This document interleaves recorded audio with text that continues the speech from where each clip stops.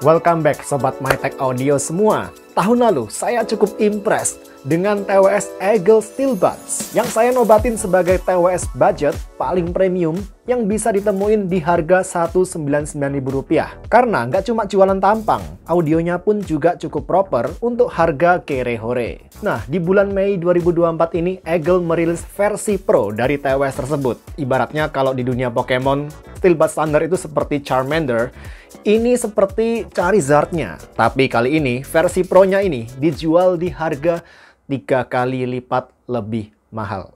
Tiga kali lipat. Steelbuds Pro dibanderol di harga Rp599.000. Tapi tentu bukan tanpa alasan Eagle ngejual TWS ini di harga yang jauh lebih mahal. Sudah ada dukungan fitur seperti kodek aptX Adaptive dan fitur ANC, Transparency Mode, serta multi-point yang disematin ke TWS ini. Tapi sebagus apa sih? Apakah layak dihargain tiga kali lipat lebih mahal dari Steelbuds yang versi biasa? Nanti kita cek. Pertama, dari segi unboxing dulu, yang saya lakuin sekitar satu minggu lalu. Di dalam paketan pembeliannya, selain unit TWS dan charging case-nya, kita bakal dikasih kelengkapan standar seperti kabel charger USB-C ke USB-A, ear tip silikon berbagai ukuran, kertas panduan, serta kartu garansi. Seperti di Eagle Steel Buds, charging case dari Eagle Steel Buds Pro memang menjadi salah satu nilai jual utama dari TWS ini. Materialnya bukan kaleng-kaleng, bukan dari plastik kayak rata-rata TWS lain. Ini dari logam, bos. Kokoh dah. Bagian engsel dan cover case-nya aja yang agak beda. Di mana cover Eagle Steel Buds bisa mengunci posisi di berbagai sudut bukaan. Sedangkan untuk versi Pro-nya tidak bisa. Cuman bisa buka full atau tutup sekalian. Dan hal ini justru ngebikin cover dari Eagle Steel Buds di sini berasa agak lebih premium, agak lebih mahal gitu kesannya daripada yang versi Pro-nya. Tapi secara ukuran, charging case versi Pro justru sedikit lebih kecil, hanya sedikit aja. Overall, masih sama secara ukuran dan bahasa desainnya. Pipih, kecil, nyaman banget ditaruh di kantong. Gak akan menonjol. Di bagian bawah sama-sama ada port USB-C dan di bagian depan ada satu titik indikator LED. Sedangkan di bagian atas ada tulisan Eagle. Dan meskipun terlihat sangat premium, satu catatan saya atau satu concern saya terhadap charging case-nya, hati-hati kalau kalian nge-charge case TWS ini, apalagi dalam keadaan tidak ada TWS di dalamnya, bakal ada beberapa titik atau bagian di case TWS ini yang bakal rentan nyetrum ketika dipegang. Gak sampai berakibat fatal, ya tapi namanya kesetrum meskipun dikit pun rasanya nggak enak ya. Beralih ke TWS-nya di sini. Secara material, versi Pro-nya memang berasa agak lebih mahal dan sedikit lebih kokoh gitu teman-teman. Meski di sini sama-sama pakai material plastik dengan paduan warna hitam dan juga silver. Misalkan, waktu diketok-ketok, tangkainya yang versi Pro ini berasa lebih padat gitu.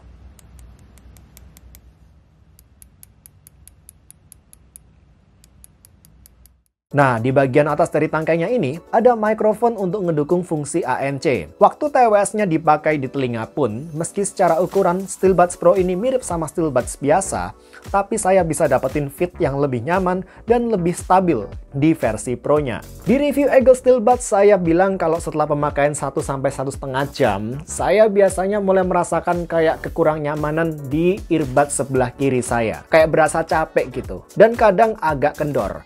Untungnya, dengan Eagle Steel Buds versi Pro, ini sudah nggak saya alamin. Kalau ada kekurang cocokan dengan fitnya, paling cuma saya rasakan ketika saya lagi makan nih. Ketika saya ngunyahnya lagi intens banget gitu ya. Makan makanan yang cukup keras, dan rahang bagian belakang saya ini naik turun naik turun secara cukup intens. TWS sebelah kiri saya ini sedikit agak kendur.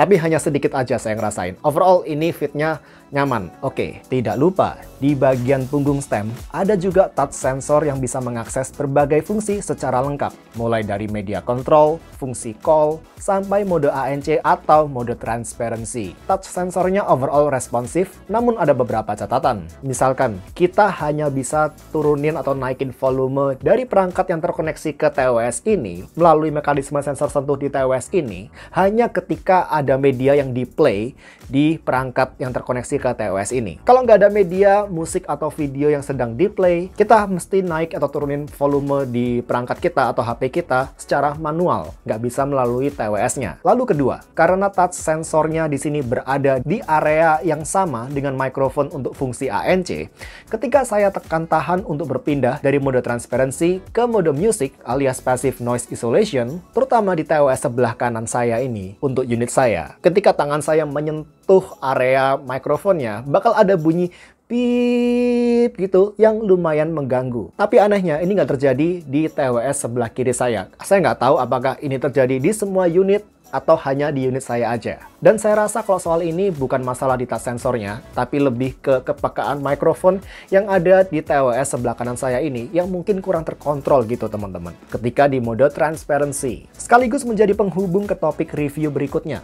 Gimana dengan kualitas transparency mode dan ANC dari Eagle Steelbuds Pro ini? BTW kalau kita pencet tahan touch sensor dari TWS ini, bakal ada voice prompt cewek yang bakal ngasih tahu apakah kita di mode active noise cancelling, transparency mode, atau music mode alias passive noise isolation. Dan by default, setiap kali keluar dari charging case, TWS ini akan berada di music mode. Dia tidak mengingat mode terakhir yang kita gunakan sebelum kita masukkan ke charging case. Ketika pertama kali berpindah ke mode ANC, suara voice prompt-nya agak keras teman-teman. Namun setelah itu volume voice prompt-nya kembali normal. Untuk transparency mode-nya, saya rasa SteelBuds Pro cukup bisa diandelin. Buat saya pakai ngobrol dengan teman-teman saya, ini masih bisa saya pakai dengan baik. Hanya saja, secara kenaturalannya, dia agak kurang ngebus frekuensi upper mid-range dan treble. Jadi persepsi suara orang sekitar misalkan, bakal terdengar agak lebih deep, lebih berat dari aktualnya. Tapi selain daripada itu, transparency mode-nya di sini cukup oke, okay. nggak ada komplain lagi. Terutama untuk harganya. Kalau dibandingin sama TWS 700 ribuan seperti Anchor P40i yang saya review sebelumnya, transparency mode di Anchor P40i memang masih lebih natural, sesuai harganya lah tapi. Namun yang cukup oke okay dari Eagle Steel Buds Pro ini adalah ANC-nya. Secara kekuatan ANC, bila bisa mendapat seal yang oke, okay, yang rapet di telinga, karena saya tahu fit itu subjektif teman-teman, tapi di telinga saya fitnya cukup nyaman dan rapat. Dalam keadaan ini, ANC di Steel Buds Pro saya rasa berimbang lah dengan ANC di Anchor Soundcore P40i yang harganya lebih mahal yang saya review kapan lalu. Oke banget buat ngeredam low frequency noise. Meskipun ya masih struggle lah buat ngeredam sebagian frekuensi mid-range, seperti suara orang ngobrol gitu. Tapi ini sudah sesuai atau bahkan agak melebihi ekspektasi saya untuk ANC harga 500 ribuan. Dan menimbang fitur utama TWS ini nggak cuma ANC-nya. Kalau kita bandingin sama TWS range harga di bawahnya, TWS 300 ribuan misalkan, gak usah jauh-jauh, Eagle Quiet Buds Neo, saudara saudaranya sendiri, ANC di SteelBuds Pro lebih kedap. Terutama frekuensi mid-range ini agak lebih baik diredam di muffled di SteelBuds Pro daripada di Eagle Quiet Buds Neo. Tapi untuk urusan transparency mode, menariknya di sini, Eagle Quiet Buds Neo justru berasa agak lebih natural, terutama karena frekuensi upper mid-nya di sini lebih di boost, lebih hidup daripada di transparency mode di Eagle Steel Buds Pro. Untuk ketahanan terhadap noise angin, keduanya termasuk cukup gerasak gerusuk kalau ketemu angin. Tapi, kalau ditanya nih, mana yang lebih resisten terhadap angin? Jawabannya saya rasa Quiet Buds Neo. Di ANC-nya Steel Buds Pro, noise angin masih berasa lebih berisik. Mungkin karena mic ANC-nya di sini lebih sensitif ya, saya kurang tahu juga. Berikutnya, untuk ketahanan air alias IP rating. SteelBuds Pro diklaim di IPX5, yang berarti sudah tahan low pressure water jet spray, seperti kebanyakan TWS ANC lainnya. Tadi ketahanan air, sekarang ketahanan baterainya. Untuk klaim dari Eagle sendiri, Eagle SteelBuds Pro diklaim bisa kasih playtime music selama 7 jam di volume 50% dengan ANC off, kalau ANC-nya diaktifin, angka ini bakal berkurang menjadi 5 jam saja. Untuk TWS ANC budget ini termasuk ya termasuk normal lah. Apalagi mengingat di TWS ini sudah ada kodek kualitas tinggi seperti aptX Adaptive yang bakal menguras baterai. Dan seperti biasa, ketahanan baterainya saya tes sendiri menggunakan HP Android di sini supaya kodek aptX-nya aktif di volume 50%. Dan dengan ANC aktif, unit saya bisa kasih playtime music sampai 6 jam 11 menit. Lalu dengan ANC off,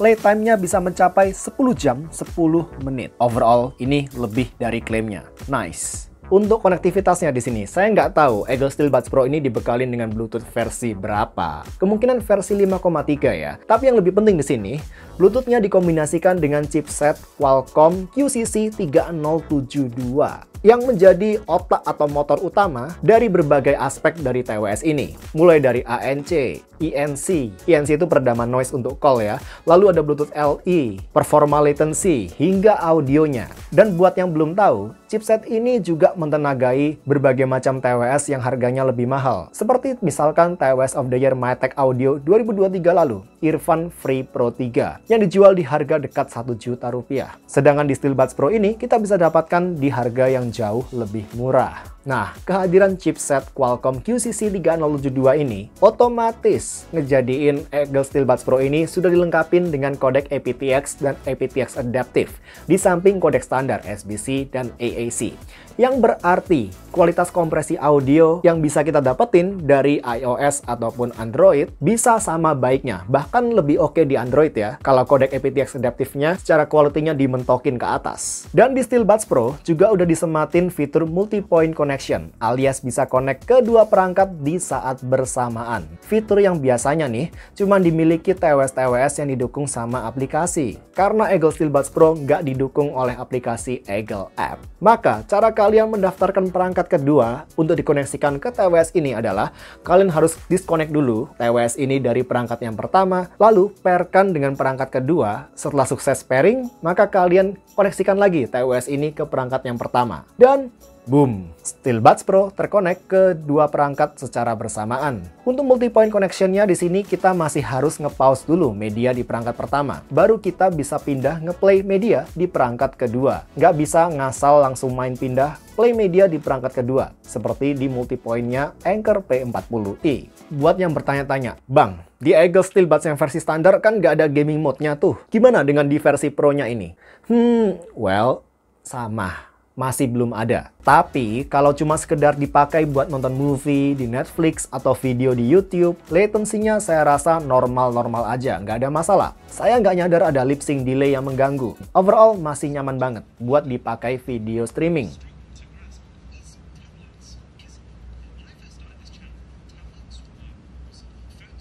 Kalau dipakai buat gaming, baru TWS ini saya rasa mulai berasa akan lebih baik ya bila ada mode low latency khusus.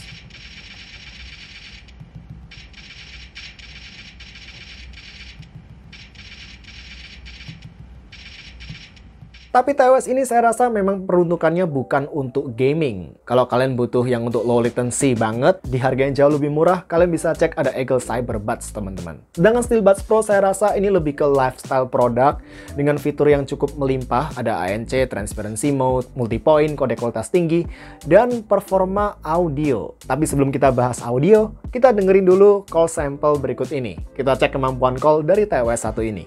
Yuk. Oke, cek 123, cek 123. Saat ini teman-teman saya berada di balkon suatu restoran cukup ramai, tempat saya biasa melakukan call test untuk TWS. Saya baru aja mengetes kemampuan call dari TWS Anchor Soundcore P40i, dan sekarang saya lanjut mengetes TWS Eagle Steel Buds Pro, versi Pro dari Eagle Steel Buds yang harganya jauh lebih murah ya.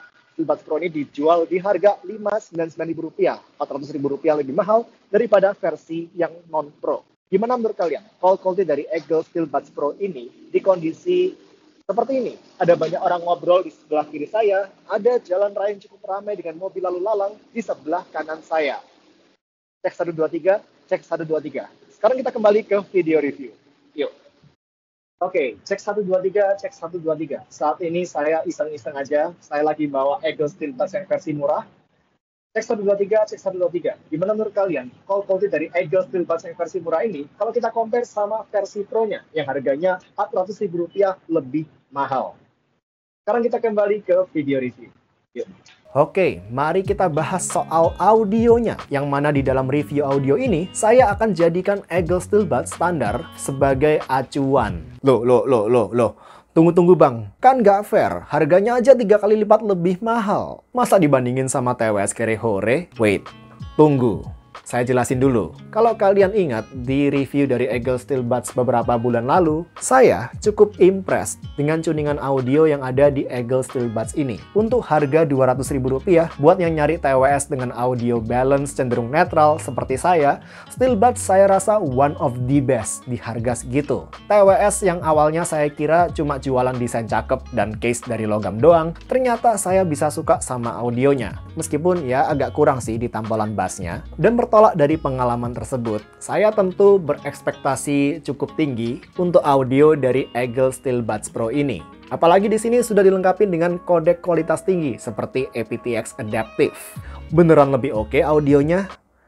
Hmm, mari kita bahas. Secara volume dulu deh. Kedua TWS ini saya rasa punya raw power volume yang relatif sama, satu sama lain. Di tempat sunyi, ketika saya nggak aktifin mode ANC di SteelBuds Pro, saya sama-sama bisa gunakan kedua TWS ini di volume sekitar 60%an dengan Apple Music saya. Meskipun secara passive noise isolation, SteelBuds Pro memang agak lebih kedap daripada SteelBuds, tapi memang benefit utama dari SteelBuds Pro adalah fitur ANC-nya, di mana ketika kondisi sekitar mulai ramai, dengan fitur ANC aktif, saya bisa tetap dengerin musik saya di volume 60% dengan Eagle Steel Buds Pro. Sedangkan di Steel Buds, sebagai perbandingan, saya udah harus naikin volumenya ke 70% atau bahkan sampai 80%. Karena memang secara passive noise isolation, Steel Buds ini bukan yang terbaik di kelasnya. Tapi poin saya di sini, secara raw power, keduanya mirip-mirip. Secara karakter audio, nah ini yang beda banget. Kalau Eagle Steel Buds punya tuningan audio yang netral, balance, meski agak kurang bass dikit, paling nggak menurut persepsi saya, versi Pro-nya sekarang dituning secara warm, alias lebih mengutamakan frekuensi bawah dibandingkan frekuensi atas. Frekuensi bawah yang saya rasa agak dominan di audionya Eagle Steel Buds Pro ini ada di frekuensi area mid bass, sedikit upper bass, dan juga lower mid range alias mid range bawah. Sedangkan area upper mid dan terutama treble-nya di sini cenderung tame, agak di smooth out, dan secara posisi agak di belakang. Jadilah dengan Steel Buds Pro, kalian akan dapetin tuningan audio yang relatif smooth, apalagi kalau kalian baru aja beralih dari TWS atau AIM yang dituning secara netral atau bright, udah pasti begitu pindah nyobain Steel Buds Pro, audionya bakal berasa agak terlalu terlalu di smooth out atau bahkan berasa lebih dark dengan vokal yang agak berasa kurang tekstur micro detailnya meskipun punya timbre yang tebal di sini. Jadi di sini kita bisa expect vokal cowok atau vokal cewek yang terdengar tebal Petikan gitar akustik terdengar juga tebal, warm. Secara kesan organiknya ini dapet, tapi agak mengorbankan micro detail atau tekstur. Dan juga kita akan dapetin suasana soundstage yang berasa lebih intimate dibandingkan di Eagle Steel Buds versi budget.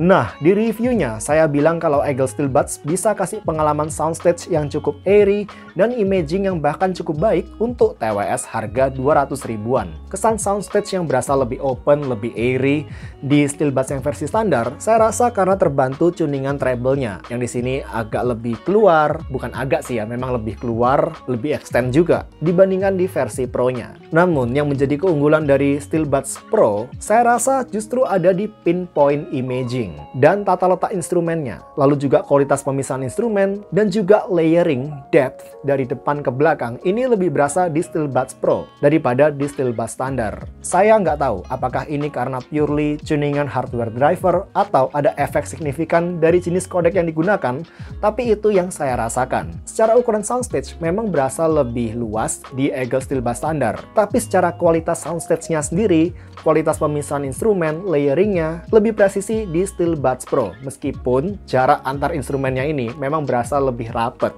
di Steel Buds versi Pro. Sedangkan di Steel Buds yang versi standar, di lagu-lagu dengan instrumen yang banyak dan kompleks, instrumen-instrumennya memang berasa lebih lebih nyebar, tapi secara pinpoint imagingnya lebih samar-samar dibandingkan di SteelBuds Pro. Sedangkan secara detail retrieval, saya rasa tekstur micro detail dari instrumen-instrumen melodik seperti gitar, piano, dan juga tekstur vokal masih agak lebih keluar, lebih berasa di Eagle SteelBuds yang versi standar. Lagi, ini karena tuningannya. Upper mid-nya lebih keluar, dan juga timbre-nya lebih kering. Dan buat bass head, SteelBuds Pro lebih recommended ya, karena region mid bass-nya jauh lebih di boost dibandingkan di SteelBuds standar. Jadi begitulah pandangan saya terhadap audio dari Eagle SteelBuds Pro. Itulah kenapa kalau ditanya apakah SteelBuds Pro ini update sepenuhnya dari segi audio dari Steelbuds yang standar, saya bisa jawab ya atau enggak, tergantung selera. Di dunia audio ini, harga yang lebih mahal tidak berarti 100% lebih cocok dengan selera audio kita. Karena unsur subjektivitas di dunia audio sangat tinggi. So, saya rasa gitu dulu aja teman-teman review kali ini untuk Eagle Steelbuds Pro. Overall harga Rp599.000, nggak usah ditanya lah.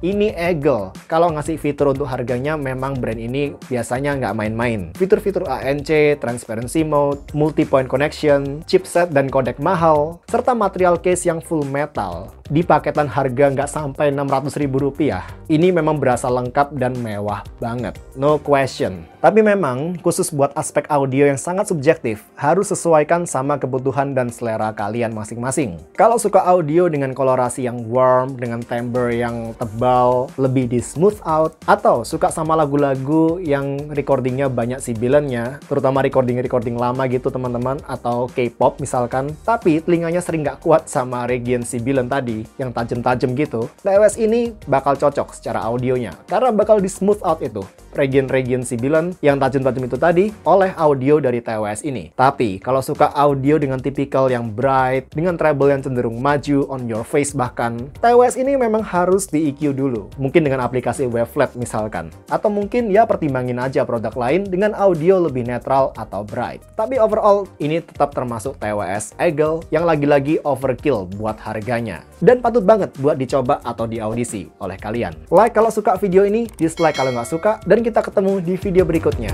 See you, bye guys.